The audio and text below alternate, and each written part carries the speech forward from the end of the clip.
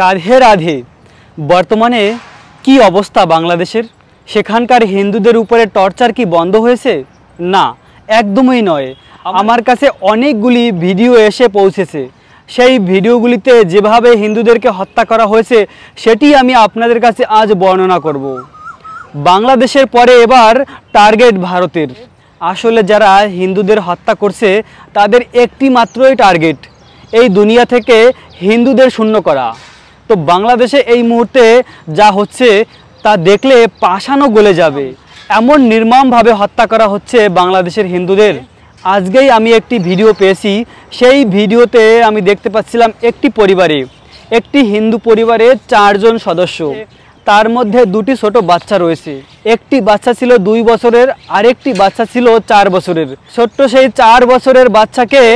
গলায় রশি বেঁধে ফ্যানের সঙ্গে ঝুলিয়ে মেরেছে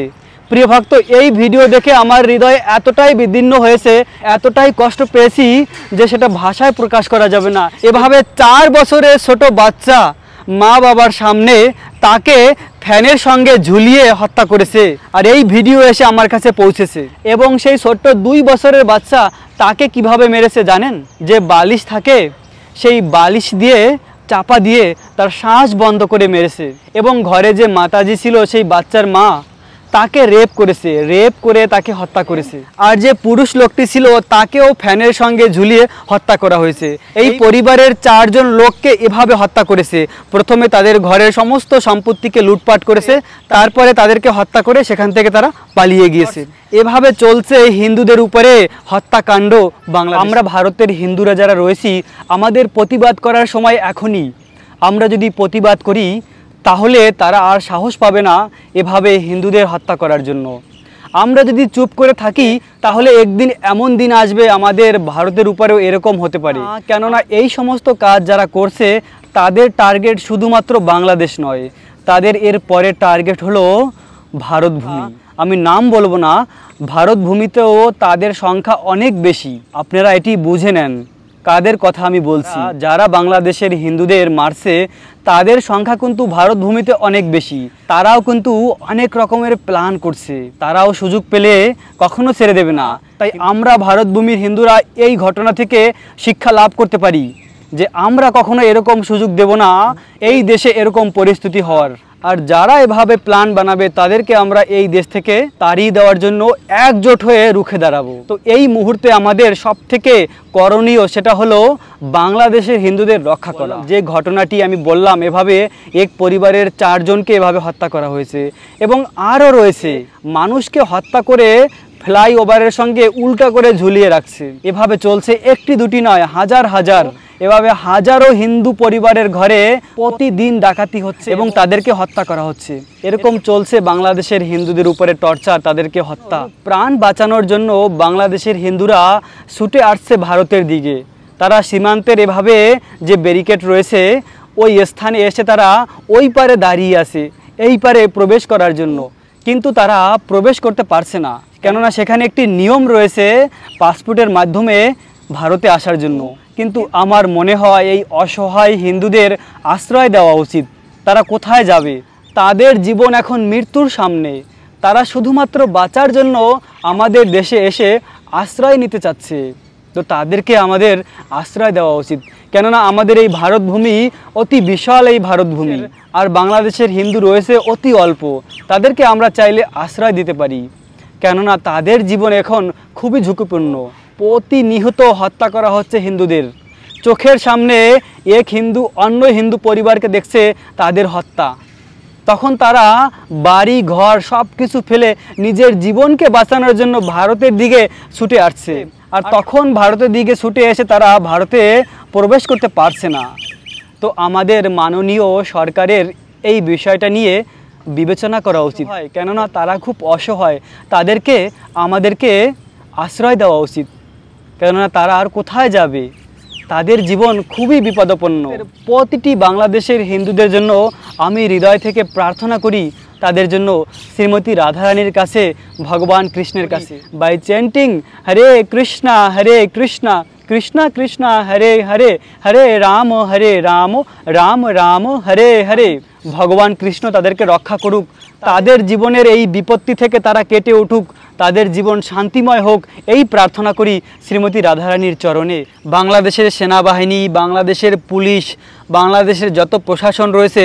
কেউই সেই সমস্ত লোকদের আটকাতে পারছে না যারা এভাবে এই ডাকাতি করছে যারা এভাবে হিন্দুদেরকে হত্যা করছে লুটপাট করছে তাদেরকে কেউই ধরতে পারছে না তাদের এই হত্যাকাণ্ড যেন বন্ধ হচ্ছে না আমরা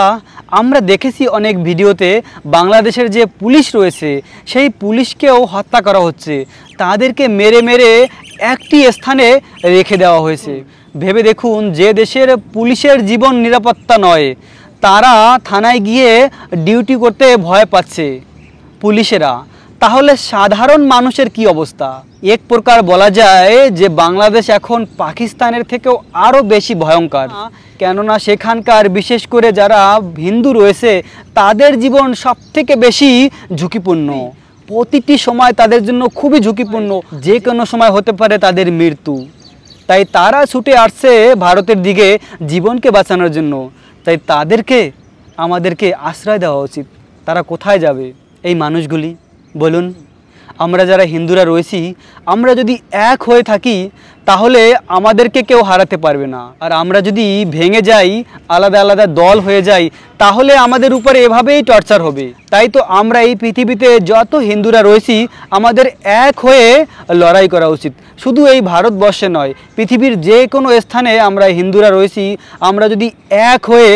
এই সমস্ত মানুষদের বিরুদ্ধে রুখে দাঁড়াই তাহলে তারা ভবিষ্যতে আর সাহস পাবে না এরকম ঘটনা করার জন্য কেননা আমরা সোশ্যাল মিডিয়ায় দেখতে পাই অনেকেই কমেন্ট করছে এভাবে যে বাংলাদেশের পরে এরপরে ভারতের পালা এরপরে ভারতের এই অবস্থা হবে এরকম তারা কমেন্ট করে কি করে সাহস পায় এরকম কমেন্ট করার জন্য তো আমরা যদি রুখে দাঁড়াই প্রতিটি অন্যায়ের বিরুদ্ধে প্রতিবাদ করি তাহলে তারা আর এরকম সাহস পাবে না আমাদের ভারত ভূমিতেও এরকম অনেক ঘটনা হচ্ছে অযোধ্যায় আমরা কিছুদিন আগে একটি ঘটনা শুনেছি আপনারা সকলেই অবগত আমাদের আমাদের হিন্দু একটি মেয়ের সঙ্গে যে ঘটনা হয়েছে সেই ঘটনা পুরো ভারতবর্ষে ভাইরাল হয়েছে আপনারা ভালো করেই জানেন তাহলে ভেবে দেখুন আমাদের এই পবিত্র ভারত ভূমিতেও যদি তারা আমাদের হিন্দুদের মায়েদের সঙ্গে বোনেদের সঙ্গে এরকম করতে পারে তাহলে বাংলাদেশে কি না করতে পারবে তাই তো আমাদেরকে একদমই তাদেরকে প্রশ্রয় দেওয়া উচিত নয় আমাদের দিল্লিতেও অনেক ঘটনা হয়েছে হিন্দুদের মেয়েদেরকে নিয়ে তারা আটকে রাখে তারপরে সেখানে তাদেরকে কনভার্ট করে ধর্ম থেকে তাদেরকে ইংরাশন দেওয়া হয় বিভিন্ন রকমের ইংরাশন দিয়ে তাদের সেন্সকে খারাপ করা হয় আর তাদেরকে যে সমস্ত খাবার তারা খায় না সেই সমস্ত খাবার খাইয়ে পাগল বানানো হয় পুরো আমাদের দিল্লিতে অনেক কয়টি ঘটনা ঘটেছে আমাদের একজন ভক্ত মাতাজি দিল্লির তার মেয়ে ষোলো বছরের ছিল স্কুলে পড়াশোনা করত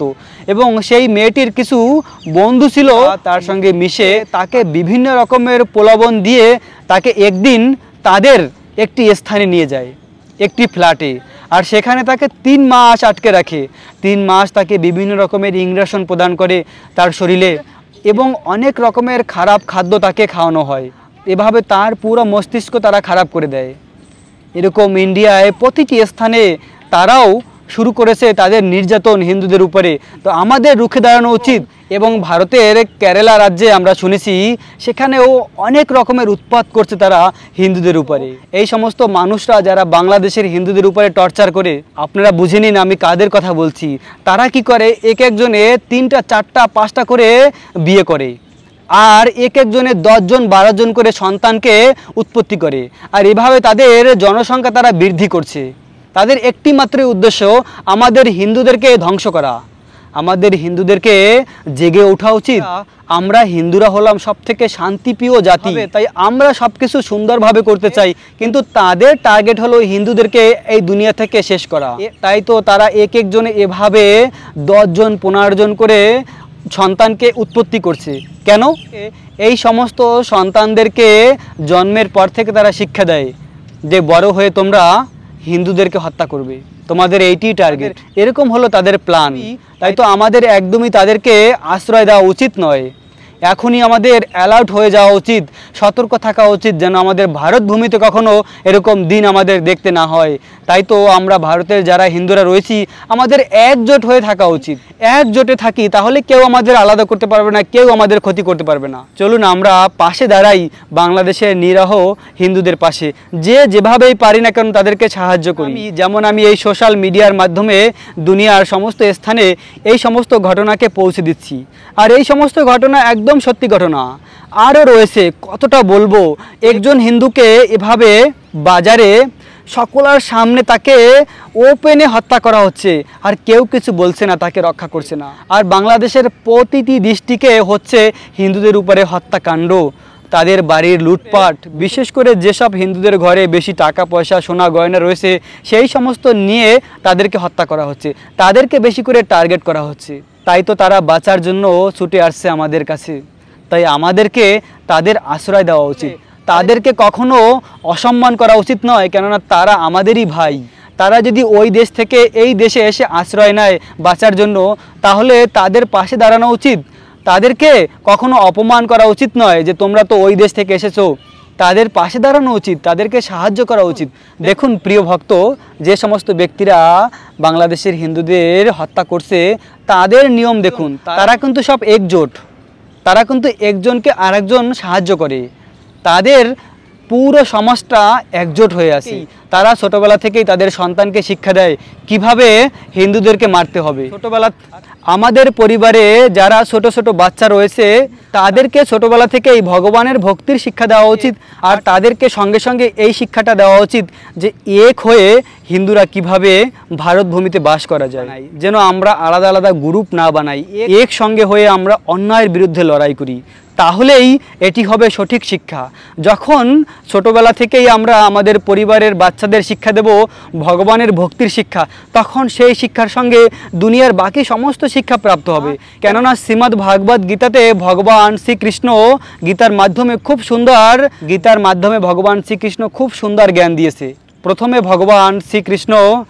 দেহ আর আত্মার পার্থক্য বলেছে তারপরে ভগবান কৃষ্ণ বিভিন্ন জ্ঞানের কথা বলেছে এবং এই জ্ঞানটিও রয়েছে কিভাবে অন্যায়ের বিরুদ্ধে যুদ্ধ করতে হয় লড়াই করতে হয় ভগবান শ্রীকৃষ্ণ অর্জুনকে বলেছিল তুমি নিমিত্ত মাত্র হয়ে যুদ্ধ করো তোমার বিজয় নিশ্চিত হবে তেমনই আমাদের সন্তান যারা রয়েছে তাদেরকে আমরা এই গীতার জ্ঞান প্রদান করতে পারি এই গীতার জ্ঞানের মধ্যে সব কিছু রয়েছে সমস্ত কিছু রয়েছে কিভাবে একটি মানুষ সুন্দরভাবে জীবন যাপন করতে পারে তার জীবনকে পালন করতে পারে সমস্ত জ্ঞান রয়েছে গীতার মাধ্যমে ভগবান কৃষ্ণ গীতার মাধ্যমে সব কিছু দিয়েছে তাই ছোটবেলা থেকেই আমাদের বাচ্চাদের গীতার জ্ঞান শিক্ষা দেওয়া উচিত তাহলে তারা বড় হয়ে একজন আদর্শ ভারতবাসী হবে একজন সত্যিকারের মানুষ হবে তাহলেই সে হবে প্রকৃত ভারত ভূমিকে রক্ষা করার একজন নাগরিক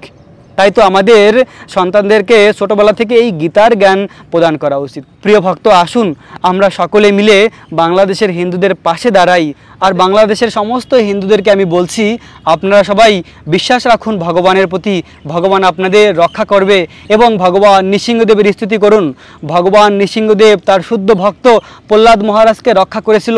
আপনাদেরকেও ভগবান রক্ষা করবে শুধু ভগবানের প্রতি বিশ্বাস রাখুন ভগবানের থেকে বেশি শক্তিশালী জগতে আর কেউ নেই নেই ভগবান হলো অনন্ত শক্তির মালিক তিনি সব কিছু করতে পারেন আপনাদেরকেও রক্ষা করবে তাই আপনারা ভগবান নৃসিংহদেবের স্তুতি করুন ভগবানের চরণে আত্মসমর্পণ করুন ভগবান আপনাদের রক্ষা করবে আর নিজেরা সবসময় অ্যালার্ট থাকুন যে কোনো সময় আপনাদের প্রতি হামলা হতে পারে আপনারা সবসময় সতর্ক থাকুন রাখবেন নিজেদের অনেক যত্ন থাকবেন কৃষ্ণ ভাবনাময় রাধে রাধে